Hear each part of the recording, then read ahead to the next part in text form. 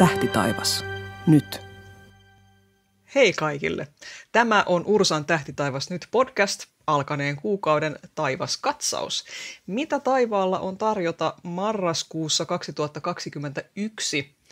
Taivaallisten juttujen asiantuntijana toimii professori Markku Poutanen ja äänikäsittelyn on tehnyt Tomi Taskinen. Ja minä olen Ursan tiedottaja Anne Liljeström.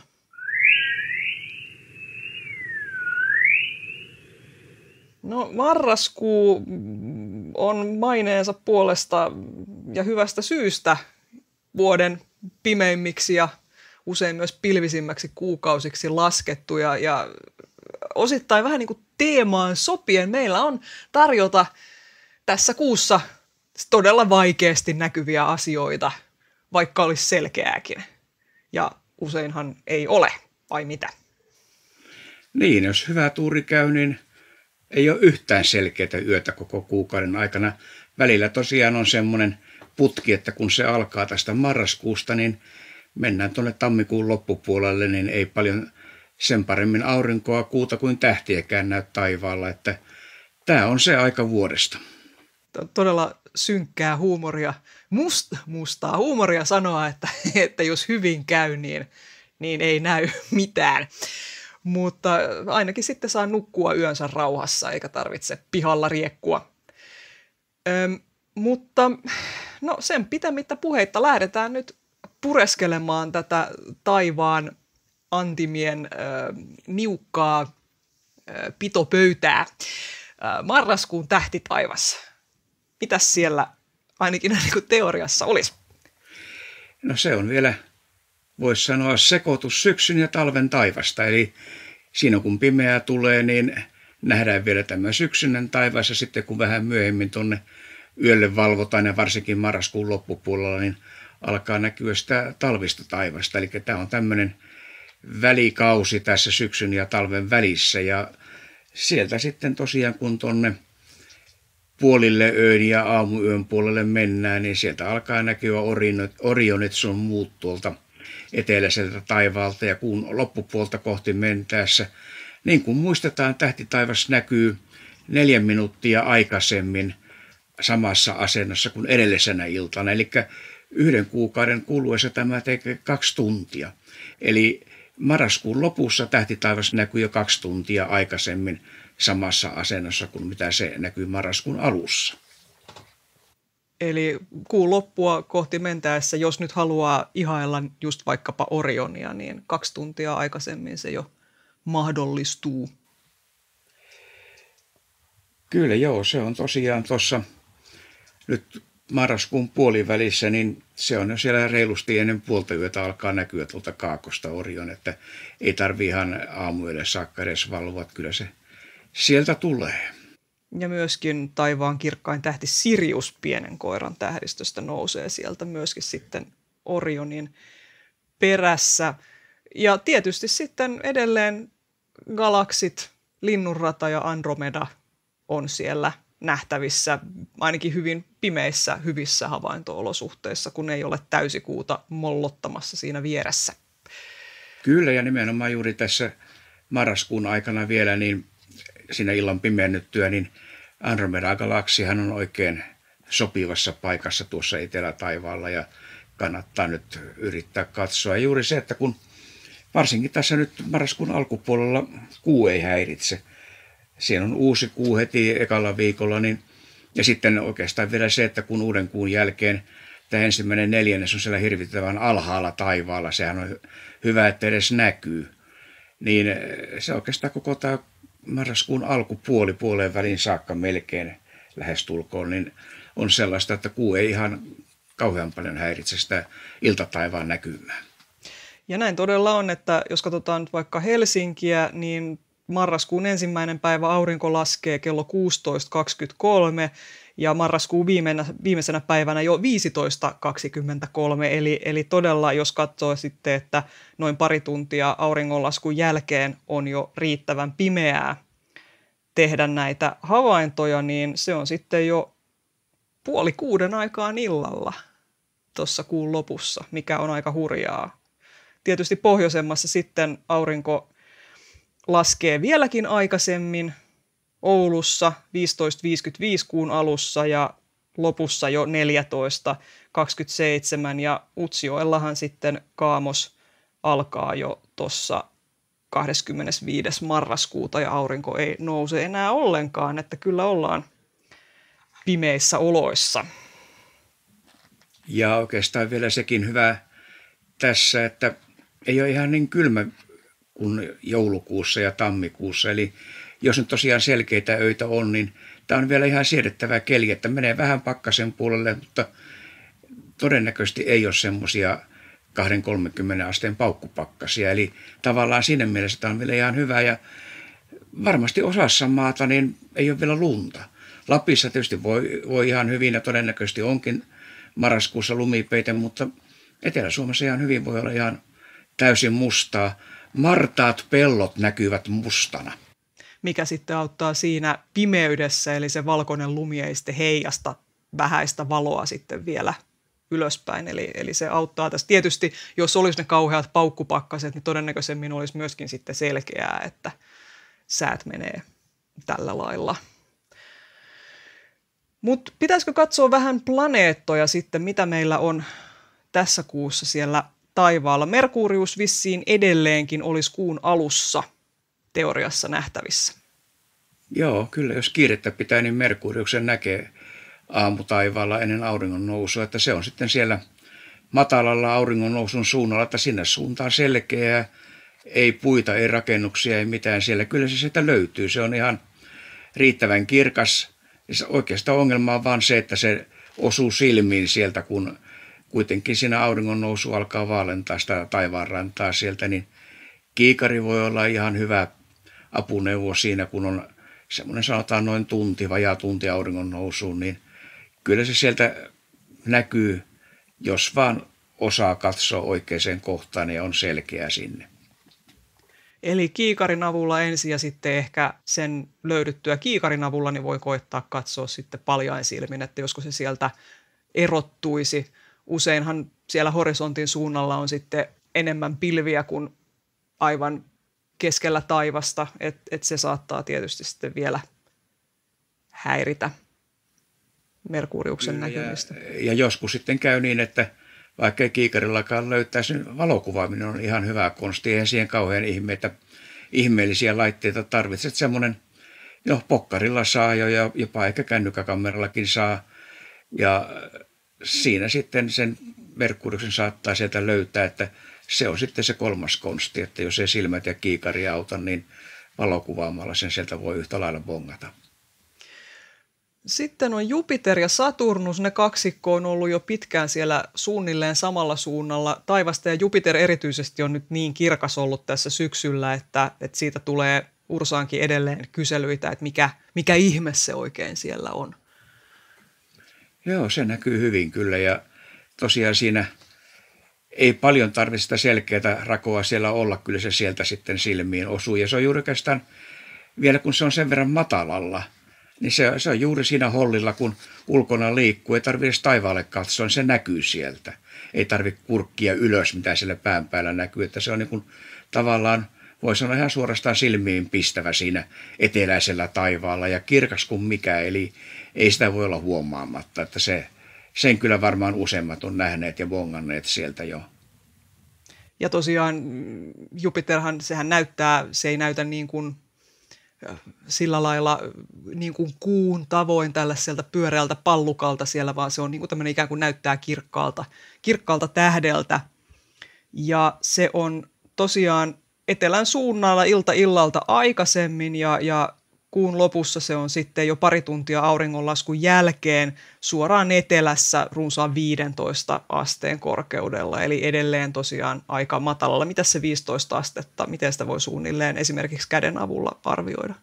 No se olisi suunnilleen vähän vajavaaksa, eli, eli kun käsi suoraksi ja tota, sormet haralleen siinä, niin peukolon ja etu- tai keskisormen pään välinen matka on semmoinen noin 20 astetta, eli se on pikkasen alle sen. Eli peukalot tuonne horisontin, horisontin suuntaan, horisontin kohtaan ja siitä sitten sormet ylöspäin haralleen, niin se on suunnilleen siellä sitten etusormen kynnen kohdalla melkein se korkeus, kun käsi on suorana, niin siitä saa sen mielikuvan, että kuinka korkealla tai matalalla se on, että jos siinä on kovasti puita tai taloja välissä, niin eihän se sitten näy, mutta vähänkin aukeammalla paikalla, niin kyllä se aika kivasti siitä pilkottaa sitten. Ja jos niitä kiikareita ei tarvitse siis olla mitkään erityiskiikarit, ihan siis perus kiikarit, mitä saattaa taloudesta löytyä, niin löytyy noin Jupiterin suurimmat kuut siitä Jupiterin vierestä. Ne on niin kirkkaat, että jos Jupiter ei olisi siinä vieressä mollottamassa, niin ne näkyisivät paljain silminkin. Eli, eli tässä nyt se kiikari sitten vaan niin kuin auttaa siinä niiden havaitsemisessa, mutta se on tämmöinen ylimääräinen riemupala, minkä siitä voi repäistä sitten Jupiterista. Mutta sitten siinä on Saturnus melko lähellä Jupiteria, ei ihan niin näyttävä. Ei ihan niin näyttävä, se on länteenpäin, eli jos katsotaan täältä meidän pohjoisesta näkökulmasta niin oikealle Jupiterista ja vähän matalammalla ja aika paljon himmeämpi. Kyllähän se sieltä niin kuin voi sanoa, että kohtuudella näkyy, mutta se vaatii taas sitten pikkasen jo paremman näkyvyyden sinne etelän suuntaan, että se on, on kuitenkin vähän matalammalla ja sen verran himmeämpi, että ei se sillä tavalla silmiinpistävä ole, mutta siellä se on koko syksyn ollut ja vielä näkyy ihan kivasti, että kannattaa sitä samalla reissulla, kun sitä Jupiteria katsoo, niin etsiä semmoinen paikka, mistä näkee vähän enemmän sinne lännen suuntaan oike- oikealle päin ja kyllä se sieltä löytyy sitten, ei, ei mitään vaikeuksia pitää Saturnuksen suhteenkaan olla. Ja jos tuntuu siltä, että ei aivan luota havaintoihinsa, niin tuossa 10-11 päivä marraskuuta kuun, no melkein jo puoli kuu, löytyy siitä Saturnuksen ja Jupiterin alapuolelta kulkee. Ja, ja sitä voi ottaa sitten avuksi siihen niiden, niiden tunnistamiseen – Saturnuksen kanssa kyllä auttaa sekin, että siinä ei nyt mitään niin kuin yhtä kirkkaita pisteitä ole siinä sitten niin kuin tähdissä tarjolla vieressä. Joo, se on kauriin tähdistössä ja se on semmoinen himmeä, epämääräisen, epämääräisen näköinen tähtikuvio siellä, että ei sitä oikeastaan niin kuin itsekään hahmota, että mitä, mitä siellä on ja himmeitähän ne on kaikki, että ei siellä niin kuin Saturnuksen kirkkauksista ole missään, mutta – siinä tosiaan kun kuu on vielä alempana, niin se on vielä hankalampi se kuu sitten nähdä, että se pilkottaa jostain sieltä puiden välistä sitten hyvin, hyvin matalalta juuri tuossa niillä hetkillä, kun se Saturnuksen kohdallakin on, että Saturnus jää vielä korkeammalle kuin kuu, että kuu on nyt todella, tämä sirppi, niin todella matalalla siellä sitten tämä loppusyksyn taivaalla, tämä ensimmäinen neljännes. Mutta toisaalta tietysti, jos näkee kuun, niin sitten tietää, että myöskin Saturnus on siinä näkyvissä, ellei just siinä satu olemaan jotain, en tiedä mitä, rakennuksen räystestä. Tota, Mutta hei, sulla oli vielä tämmöinen ylimääräinen planeetta tärppi tälle kuulle, nimittäin meillä täällä vähemmän keskusteltu Uranus on oppositiossa. Eli? Eli vastapäätä aurinkoa. Näkyy periaatteessa koko yön. Nousee illalla ja sitten korkeimmillaan puolen yön paikkeilla ja laskee sitten aamun tullen tuonne lännen suuntaan. Ja Uranus on aika korkealla, se on noin 45 asteen korkeudella silloin, kun se on etelässä ja ei mitään ongelmia näky, näkymisen suhteen.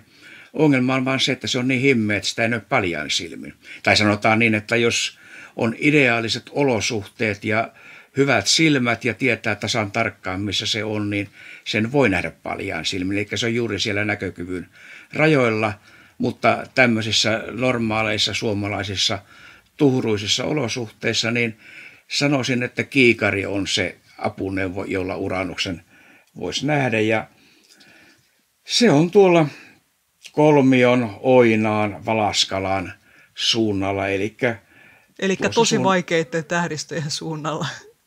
Et, joo, eihän se helppo voi olla. Eh. Ja, ja tuota, sitten ongelma on se, että miten sen tunnistaa. Se saattaa näkyä vähän semmoisena vihertävänä, ei sitä kunnollista mitään kiekkoa vielä kiikarilla näe. Kaukoputki pitäisi olla siihen tarkoitukseen.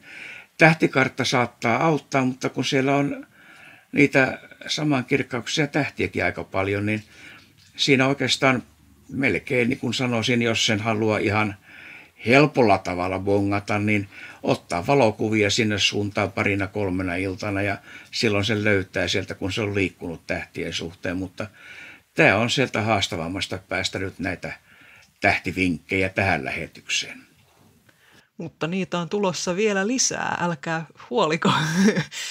Mutta todella siis, jos, jos, jos uranusta nyt ylipäätään haluaa joskus havaita, niin tämä on ikään kuin parasta aikaa sille, koska ne ei nyt säiden suhteen, mutta, mutta sen suhteen, että se on oppositiossa, eli tilanne vastaa vähän niin kuin täysikuuta. Eli, eli uranuksen meille näkyvä puolisko on täysin valaistu ja siksi kirkkaimmillaan. Eli tästä tilanne ei siinä mielessä parane. Mutta lähdetään nyt, tässä on puhuttu vähän siis uranuksenkin helpoimmin havaitsee tietysti sitten silloin, kun kuu ei ole siinä lähettyvillä ja, ja kuusta puhutaan seuraavaksi. Tässä nyt marraskuussa, voisin nämä heittää tässä vielä marraskuussa öö, tämä uuden kuun, u, uuden kuun vaihe on ihan tässä kuun alussa, neljäs päivä marraskuuta ja sitten täysikuu on 19. marraskuuta – Eli, eli silloin se on, on, on kirkkaimmillaan ja eh, siinä mielessä häiritsee tätä taivaan himmeimpien kohteiden havaitsemista, mutta, mutta kun se on siellä täysikuun vaiheessa, niin joinain tiettyinä kuukausinahan juuri silloin saattaa kuun pimennys tapahtua, kun maa on siinä, tai sanotaan näin ehkä mieluummin, että kuu menee maan varjoon sillä lailla, että – että se ei heijasta samalla tavalla auringon valoa ja semmoinen tilanne meillä tulee tässäkin kuussa täyden kuun aikaa, mutta, mutta tilanne on aika erikoinen ja mistään näyttävästä pimennyksestä ei, ei ole kyse.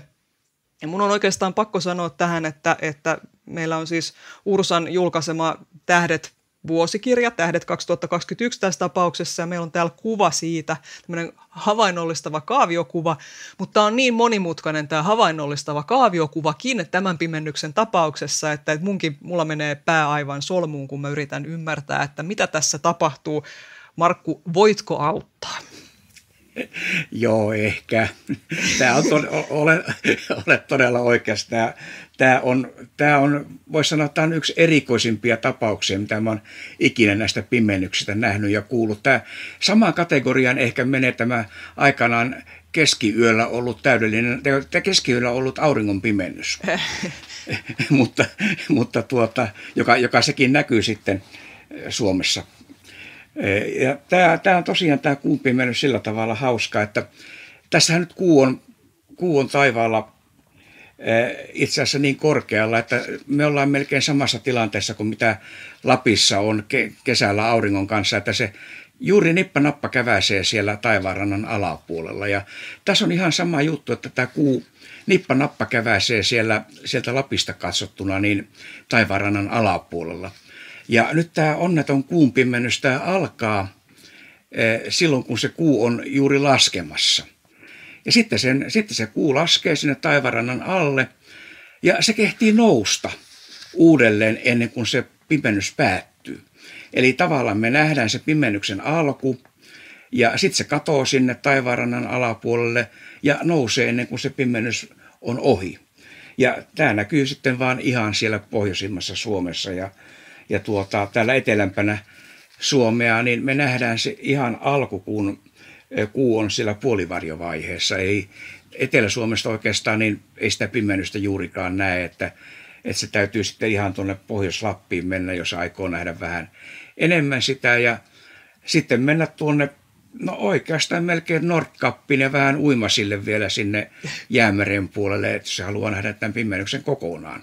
Että se on aika, aika keljussa paikassa tällä kertaa, ja, mutta omituinen, todella omituinen, että tämä on nyt semmoinen bongaus, että jos joku tämän näkee, niin voi sanoa, että tuskin, tuskin elinaikanaan toista tämmöistä tapahtuu. Eli tosiaan tässähän on sellainen, sellainen tilanne, että tämä pimennys alkaa niin sanottuna puolivarjopimennyksenä, eli ihan normaali täysikuu alkaa pikkuhiljaa siirtyä tuonne maapallon avaruuteen heittämään tällaiseen puolivarjoon. Ja se on tämmöinen erittäin pieni muutos, mikä siinä kuun kirkkaudessa tapahtuu silloin, että sitä ei välttämättä huomaa, pitää oikeastaan niin kuin tietää, mitä siinä katsoo, ja ihan sitä, niitä ensimmäisiä hetkiä erityisesti ei siinä huomaa. Tämä tapahtuu siis tämä pimennys 19. päivä marraskuuta, ja, ja tämä pimennys alkaa kello 8.02 aamulla, mutta kuu laskee Helsingissä jo 8.24, eli se kuu ihan tässä pimennyksen alkaessakin on siis erittäin matalalla horisontissa. Ja jossain Oulussa, missä tilanne on suht hyvä vielä, niin kuu laskee 9.09, eli se ehtii tunnin verran olla siinä, mutta kyllä se Oulussakin kuu on niin matalalla siinä pimennyksen sen puolivarjovaiheen aikana, että, että se ei sielläkään ole sillä lailla, sillä lailla helppo. Mutta tosiaan, kun mennään tuonne niin pohjoiseen Suomeen, niin kuu, se osittainen pimennys, eli semmoinen, missä kuu näyttää vähän siltä, että siitä olisi mutusteltu pehmoisesti pala siitä kyljestä pois, niin tota, se alkaa 19 yli 9 ja sitten kuu laskee Utsjoella kello 10.51, eli siinä on niin kuin aamusella tämmöinen hetki, milloin sitä voisi ihan tuolta maan pohjoisosista havaita tätä osittaista vaihetta. Sitten se dippaa sinne horisontin alapuolelle ja sieltä sitten vähän myöhemmin ö, kello 13.09 niin Utsjoella se kuu nousee uudestaan horisontin yläpuolelle ja silloin siellä on tämä huonosti erottuva puolivarjopimennys vielä käynnissä, joka sitten on vielä siinä noin tunnin. Mutta kaikki tämä edes teoriassa erottuva asia niin näkyy siellä aivan niin kuin horisontin tienoilla. Eli tässä meillä on tämmöinen pimennys, joka ei näy missään päin maapalloa täydellisenä, mutta täydellisimpänä tai syvimpänä se näkyy tuolla suunnilleen pohjoisnavalla. Eli me tästä saadaan vaan tällaiset pienet muruset nautittavaksemme täällä, täällä Suomessa sitten. Mutta tässä on tosiaan aika veikeä pimennys. Ei, ei ole semmoinen pimennys, mitä järjestettäisiin sitten tällaista niin kuin isoja, isoja seurajaisia, vaan, vaan kaikki ovat nyt vähän omillaan tämän kanssa kyllä sitten. Mutta tässä nyt siis oli, oli kuu, mutta sitten meillä on vielä yksi tämmöinen haastava kohde, mikä on nyt poikkeuksellisen hyvin näkyvissä, nimittäin aurinkokunnan suurin asteroidi ja kääpiöplaneetta Ceres, vai pitäisikö se lausua Keres? Kahta vaihtoehtoa on. Riippuu siitä, puhuuko ikään kuin englantilaisittain vai latinalaisittain. Ja kun meillä taitaa kummallakin tämä englannin taito olla parempi kuin latinan taito, niin pysytään tässä Ceres-linjalla tällä hetkellä. Mutta älkööt ne, jotka ääntää sen Keres, niin pahoittakoon mieltäne. Kyllä me, kyllä me tämä tiedetään, että kuinka se pitäisi tulla, mutta kun me nyt vaan puhutaan Ceres. Niin, me emme, ole, emme teitä laske kerettiläisiksi tämän Niin, asian olette serettiläisiä. Kyllä. Hyvä, mutta mennään nyt siihen itse kappaleeseen. Meillä siis nyt niin kuin sanottiin, että, että Uranus on oppositiossa, eli vähän täysikuuta vastaavassa tilanteessa, vaikka se nyt tietysti nämä kiertävät aurinkoa eivätkä maata nämä kappaleet, niin myöskin Ceres on, on oppositiossa 27. päivä 11, eli kaikkein kirkkaimmillaan sen kirkkaus on seitsemän magnitudia, joka ei välttämättä kaikille sano mitään, mutta tämmöinen paljaisilmin hyvissä oloissa näkyvä tämmöinen niin kuin raja, niin sanottu rajamagnitudi on noin kuusi magnitudia tai ehkä kuusi ja puoli, riippuu vähän nyt yksilöistäkin, mutta tämä ei ole semmoinen, mitä voisi havaita paljain silmin, mutta kun ne kiikarit on sen verran yleisiä kuitenkin, niin ehkä tämä nyt kannattaa mainita, koska, koska aika harva nyt pääsee tämän tästä havaitsemaan itse asteroideja. Kyllä, ja jos sitten vielä vertaa tuohon uranukseen, niin tämä, jos helpottaa yhtään, niin voi sanoa, että tämä on suunnilleen yhtä kirkas kuin uranus. Ehkä ihan aavistuksen himmeempi. Ja Ceres liikuskelee nyt tässä marra, marraskuussa suunnilleen hyadeissa. Hyadit on tämmöinen avoin tähtijoukko, vähän niin kuin seulaset, eli plejadit, paitsi että harvempi ja ei ollenkaan niin selkeästi siellä taivaalla näkyvä, mutta se on tuossa Orionin ja Härän tähdistöjen välimaastossa suunnilleen.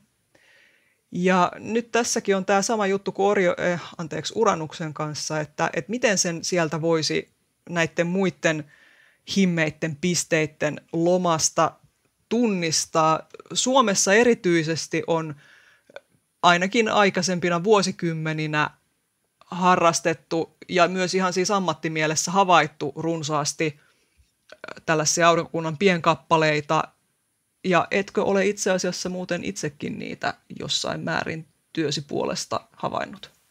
Kyllä, Vai? joo. Se itse asiassa tämä mun ura aikanaan tähtitieteen puolella alkoi juuri nimenomaan pikkuplaneettojen havaitsemisella ja, ja pikkuplaneettojen kirkkauden ja pyörimis, pyörimisen määrityksillä muun muassa, että tämmöistä on itse tullut tehty, mutta serestä en ole kyllä koskaan tainnut havaita, että siinä mielessä olisi ihan itsellekin uusi tuttavuus. Onko se liian helppo vai oliko kyse vain siitä, että se, se oli niin hyvin tunnettu? Ei, no se oikeastaan ei kulunut niihin havainto-ohjelmiin tai niihin, niihin, mitä me havaittiin silloin, että Joo. olin aikanaan tuolla Lowell Observatoriossa Arizonassa ja siellä sitten tehtiin tätä tutkimusta, mutta tosiaan niin ei näitä isompia. Ne oli oikeastaan silloin se mielenkiinto oli juuri alkoi olla niissä himmeämmissä ja pienemmissä kohteissa, että tätä ei sillä tavalla, se ei kuulunut siihen kategoriaan mut, silloin. Mutta mut sä olet siis kuitenkin tämmöinen ikään kuin siis parhaimmasta päästä nyt siis oppaita tähän tähän nimenomaiseen, nimenomaiseen hommaan. Eli siis nyt jos meillä on tähtiharrastaja, joka haluaa havaita aurinkokunnan pienkappaleita, niin miten suurta perehtyneisyyttä siihen, miten se niin kuin, kun niitä on niitä himmeitä kappaleita siellä niin älyttömästi, niin miten niihin pääsee käsiksi? No sehän se juuri se ongelma, että kun ne on, ne on niin samannäköisiä kuin tähdet, eli ei, vaikka olisi kuinka iso kaukoputki, niin ei me nähdä niitä täältä muuta kuin pistemäisinä, samanlaisina pistemäisinä kohteina kuin tähdet. Eli niitä niin kuin ulkonäön perusteella oikeastaan ei voi millään erottaa tähdistä. Se, on, se, miten se erottuu, on se, että ne liikkuu. Ja nyt tietysti riippuen siitä, että missä kohtaa ja millä tavalla se nyt juuri tällä hetkellä näkyy, niin se liike on nopeampaa tai hitaampaa, tai onko se lähempänä meitä, tai onko se kauempana tulla aurinkokunnassa liikkeen nopeus riippuu myös siitä. Ja siinä tietysti hyvä tähtikartta auttaa, mutta kun niitä tähtiä on niin paljon, niin se on aika työlästä lähteä sieltä etsimään sitten, mikä piste siellä on se, joka ei näy siinä tähtikartassa. Et melkein oikeastaan se helpoin tapa on juuri se, että, että niin kuin useampana iltana saa vaikka valokuvan siitä alueesta, jolloin sen löytää paljon helpommin. Ja toki onhan tämä Ceres nyt sen verran kirkas seitsemättä magnitudia, että et siinä mielessä se kyllä löytyy sieltä, mutta se todella vaatii sitten tarkkaa tietoa siitä, että missä se on. Ja voihan sitä tietysti, jos pitempään on niin kuin suunnilleen varmistunut siitä, että se on tämä, niin seuraa sen yhden illan aikana, niin kyllä se hyvässä lykyssä, niin se jo yhden illan aikana näkyy kyllä, että se liikkuu siellä tähtien suhteen, että siinä mielessä sen löytäminen voi olla helpompaa. Ja varsinkin kun se on tuolla menee sitten tuossa hyödien seassa, niin se on sekä etu että haitta. Nimittäin etu siinä mielessä, että se on niin valtavan paljon niitä tähtiä, mihin voi verrata, niin hyvin nopeasti näkee, että se on liikkunut siinä, mutta samalla se on se haitta, eli kun niitä tähtiä on niin paljon, niin millä ihmeellä sen sieltä erottaa, että tämä on se seres ja tuo on tähti. Aivan. Joo, siinä on on vähän puuhaa, mutta nyt jos haluaa kääpiöplaneettoja ei varsinaisesti ole tarjolla jatkuvasti tässä havaittavaksi, niin, niin, niin siinä mielessä nyt voisi siis yrittää.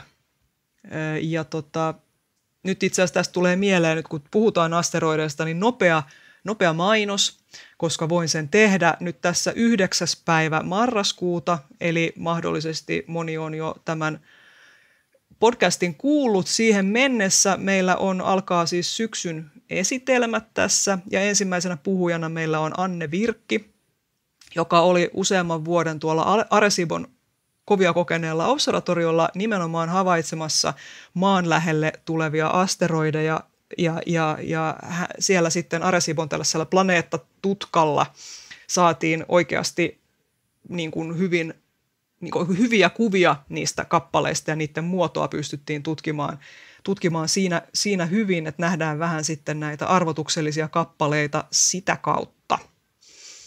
Eli kannattaa tulla kuuntelemaan tai sitten katsoa myöhemmin tämä esitelmä YouTubesta.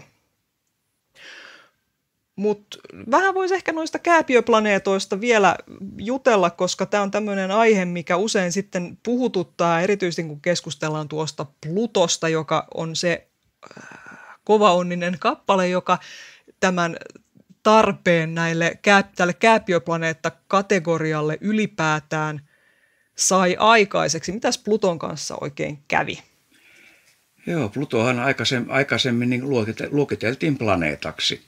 Mutta sitten alkoi löytyä tuolta Pluton radan takaa kappaleita, jotka näytti siltä, että ne on isompia kuin Pluto. Tai ainakin samaa koko luokkaa. Ja siitä tuli keskustelu sitten, että onko ne asteroideja vai onko ne planeettoja. Ja samaan aikaan sitten ruvettiin miettimään, että no eihän meillä oikeastaan ole mitään hyvää määritelmää, että mikä on planeetta, mikä on, mikä on asteroidi tai pikkuplaneetta. Ja sitten sitä ruvettiin sorvaamaan sitä määritelmää ja todettiin, että siellä Pluto erityisesti, niin se joutui tämmöisen omituiseen rakoon, että ei se nyt oikein ollut planeetta, mutta ei se oikein ollut asteroidikaan. Ja, ja siihen, sen takia sitten niin tehtiin tämmöinen ihan uusi koko luokka tai uusi määrittely kuin kääpiöplaneetta. Ja kääpiöplaneetta on sitten otus, joka ei ole planeetta, mutta joka ei ole myöskään asteroidi, eli se on on siinä välissä. Eli kun tätä Pluto-tapausta ruvettiin katsomaan, niin siinä alkoi sitten käydä niin, että se Pluto ei se oikeastaan ollut planeetta, mutta ei se ollut asteroidikaan. Ja sitä varten sitten jouduttiin miettimään, että mitä tässä tämä määritelmä tehdään ja luotiin sitten ihan kokonaan uusi määritelmä tai uusi luokka nimeltä kääpiöplaneetta.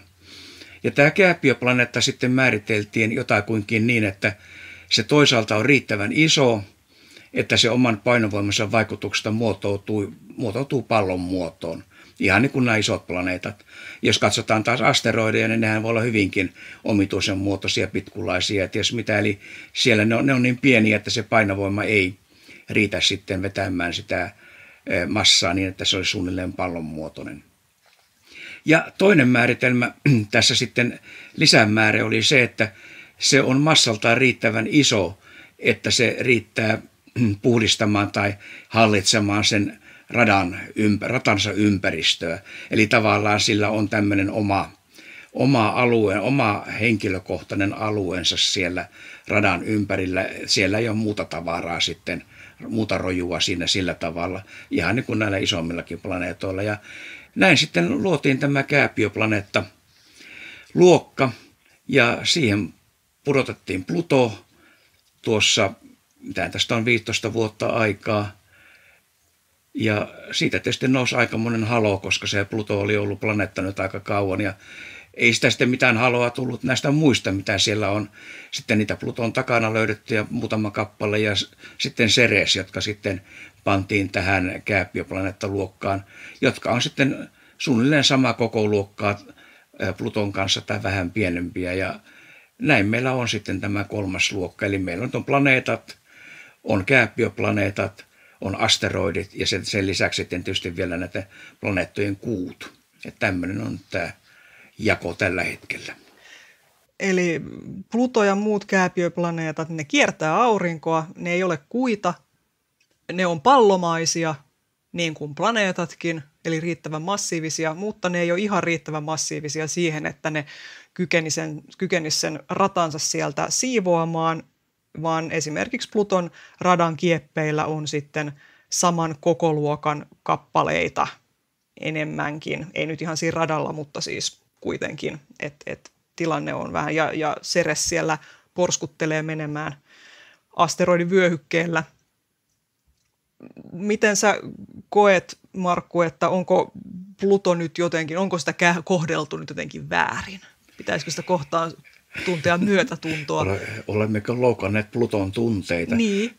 Et, no, en mä tiedä oikeastaan. Tämä on, niin kuin tuossa sanoin, että kun meillä ei oikeastaan ollut kunnollista määritelmää planeetoille, niin tavallaan kun se luotiin, niin näinhän sinne käy silloin, että kaikki ei sitten sovi siihen määritelmään. Että tietysti aina voidaan kysyä, että oltaisiko me se planeettamäärittely ja kääpiöplaneettamäärittely voitu tehdä muulla tavalla, mutta tässä ihan todella tulee vastaan se, että siellä on aurinkokunnan ulkoosissa vielä tavaraa, jotka, jossa voi olla isojakin kappaleita. Ei me kaikkia ole löydetty, ei me kaikkia tunneta. Ei me tiedetä vielä, mitä kaikkea sieltä löytyy. Että onko, että onko, oliko se, olisiko siinä ollut järkeä sitten pitää nämä kaikki pienemmätkin planeettoina. Mutta sitten, että missä se, mihin se tulee se raja? Hmm. Mikä on planeetta, mikä on asteroidi ja siinä mielessä tämä voi olla ihan hyvä tämmöinen siirtymä sitten tämän planeetan ja tämmöisten pienkappaleiden välillä. Niin, niin, että tietysti voi ajatella silleen, että mikä pakko se nyt on, että niitä planeettoja on just nämä perinteiset kahdeksan tai aikaisemmin vielä vähemmän, kun ei ollut nähty Urannusta ja Neptunusta. Mutta sitten just toi rajanveto on hyvä kysymys. Ja onhan näin, että nyt kun Plutoa on tutkittu ja todettu, että se on tosi mielettömän monimuotoinen maailma, siellä on dynaaminen kaasukehä ja siellä on mielettömiä pinnanmuotoja, jotka, jotka muuttuu ja, ja näin. Onhan ne siellä edelleen ihan sama, että pidetäänkö me Pluto laatikossa, jonka kyljessä lukee planeetat, ja toisen, missä on kääpiöplaneetat, että kummassa se nyt on, niin Pluton ominaisuudet ei, ei, ei siitä muutu. Se on edelleen todella kiehtova, kiehtova taivaan kappale. Ja oikeastaan kyllähän tämä sama ongelma jatkuu sitten, kun mennään tänne pienempiin kappaleisiin. Ihan samalla tavalla voidaan kysyä, että mikä on asteroidi, mikä on komeetta, mikä on meteoroidi. Eli kyllä meillä on samanlaisia rajanvetoja ja samanlaisia määritelmäongelmia sitten näissä, näissä pienemmissäkin kappaleissa. Tämä, tämä on totta. Asteroidien ja komeettojen välinen rajanveto on hyvin häilyvä ja sitten tietysti jos mennään tuonne vähän ulompaan aurinkokuntaan, jossa tavara rupeaa olemaan vielä jäisempää kuin täällä sisemmässä aurinkokunnassa, niin sitten siellä on kaiken näköisiä hyvinkin jäisiä kappaleita, jotka mahdollisesti voitaisiin luokitella komeetoiksi, jos ne kulkittaisiin vähän erilaisilla radoilla. Että tämä on monimutkainen homma, mutta jätetään nämä pienkappaleet, mennään vieläkin pienempiin kappaleisiin, nimittäin niihin, jotka sitten voivat aiheuttaa meille tähden lentoja. Meillä on, on, on muutama taas tämmöinen himmeämpi tähdenlentoparvi marraskuussa aktiivisena ja niistä nyt ehkä voisi jotenkin mainita Leonidit. Mutta mitäs niistä voisi mainita? No ehkä tässä tänä vuonna voi mainita, että ei mitään erityistä.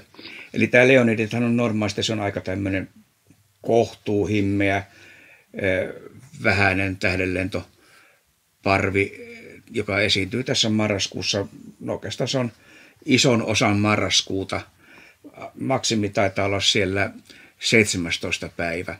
Tänä Mutta vuonna, se on ihan tässä melkein marraskuun ekalta viikolta, niin marraskuun loppuun, niin näkyy tähdenlentoja, jotka kuuluu tähän Leonidien parveen. Ja se, mikä tämän, tämän tekee mielenkiintoiseksi, on se, että noin 33 vuoden välein niin tämä Leonidien tähdenlentoparvessa tapahtuu ihan valtava runsastuminen. Voidaan suoranaisesta tähtisateesta puhua ja tämä edellinen oli tuossa vuosituhannen vaihteessa.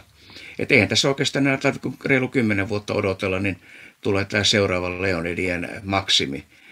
Ja, ja se on sitten semmoinen, joka, jota kannattaa todella sitten katsoa, että se on, voi varmaan ehkä niin kuin runsain melkein näistä tähdenlentoparvista, mitä, mitä meillä normaalisti näkyy, että siinä on todella valtava ero tässä tämän normaaliajan ja sitten tämän hetken välillä, kun se maa kulkee sen tiheämmän möykyn läpi aina 33 vuoden välein. Eli lyhyenä kertauksena tähdenlentoparvet syntyy tällaisien tyypillisesti komeettojen radalle jättämästä pölystä ja sorasta ja, ja siellä sitten on, on paksumpia paakkuja ja vähän ohkaisempia alueita ja, ja siellä on sitten tällaisia tihentymiä, jotka sitten aiheuttaa näitä, näitä suuria runsastumisia, mutta normaalisti tämä nyt on sitten just tällaista, että ehkä kymmenkunta meteoria näkyy hyvissä oloissa normaalisti, mutta tänä vuonna siinä on sitten kuu on edelleen niin ö, lähes täysi, että nyt sitten menee aika vaikeaksi näidenkin sitten havaitseminen, että, että kirkkaimmat tähdenlennot voi, voi, voi näkyä sitten Leonideistakin tuossa Maksimin kieppeillä keskiviikko aamuna 17.11. Nämä näyttää tulevan tuolta Leijonan tähtikuvion niin sanotun pään alueelta ja on aika nopeita tähdenlennoiksi. Eli niitä voi sitten yrittää vielä ja sitten katsotaan vielä vähän noita ilmakehän kohteita, mitä meillä ilmakehä tarjoilee marraskuussa. Siellä voi tietysti voi sanoa, että ensimmäiset helmiäispilvet saattaa näkyä jo marraskuussa, marraskuun loppupuolella. Et kun mennään tuonne joulukuulle, tammikuulle, niin mikä on sitä helmiäispilvien aikaa, niin ne on tämmöisiä, vähän niin kuin nimi, nimikin sanoo, tämmöisiä helmiäisen hohtosia, kauniin näköisiä pilviä. Yleensä näkyy tuolla auringonlaskun jälkeen lännen suunnalla sitten ja ne on tyypillisiä tämmöisiä keskitalven ilmiöitä, ehkä vähän yleisempiä tuolla Länsi- ja Pohjois-Suomessa nähtynä kuin Etelässä, mutta kyllä niitä silloin kun hyvä, hyvä helmiäspilvi keli osuu, niin kyllä niitä näkyy sitten koko Suomessa ja tuossa voi tosiaan marraskuussa ja marraskuun loppupuolella erityisesti ne ruveta jo katsomaan, että jos, joskopa niitä näkyy.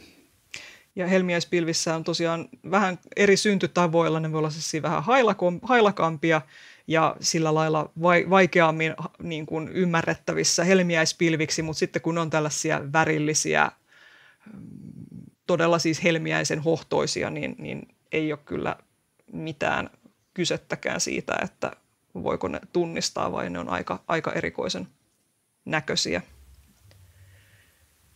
Ja, ja kauniitahan, ne, kauniitahan ne on, että ei siinä mitään. Että se, muistan tässä, tästä on muutamia vuosia aikaa, oli varmaan joulukuuta. En muista ihan tarkkaan sitä, että oliko kuinka lähellä joulua, mutta joulukuun puolella kuitenkin. Ja ne oli todella niin auringonlaskun jälkeen niin silmiinpistäviä.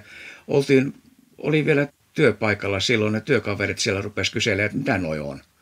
Ja siis oli koko se läntinen taivas oli semmoisen helmiäisen värinen ja harvoin näkee todella niin hienoja, mutta parhaimmillaan tosiaan voi äityä niin, että ei, ei voi olla näkemättä niitä, jos ulos katsoo, että ei, ei tarvitse sillä tavalla edes etsiä niitä, mutta ne on tosiaan, kannattaa pitää silmät auki tuossa nyt talven aikana ja, ja katsella auringonlaskun jälkeen sinne lännen suuntaan, että joskupa siellä näkyy.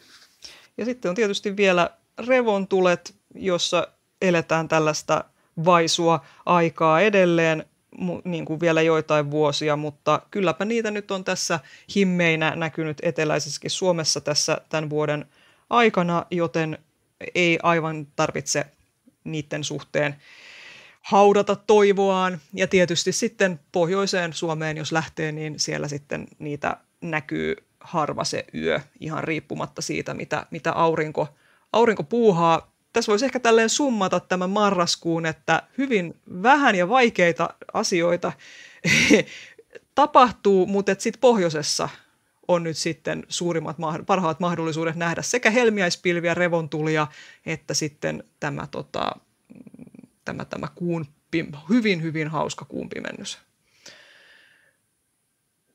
Mutta näitä havaitsemaan sitten, ja tästä tietysti voi ajatella tälleen suomalaisittain vähän kierrosti ja, ja, ja huumorin kautta sitten, että, että jos nyt sattuisikin sellainen tilanne, että, että on pilvistä läpi kuukauden, niin ei siellä mitään ihan mieletöntä spektaakkelia sitten pilvien taakse jää.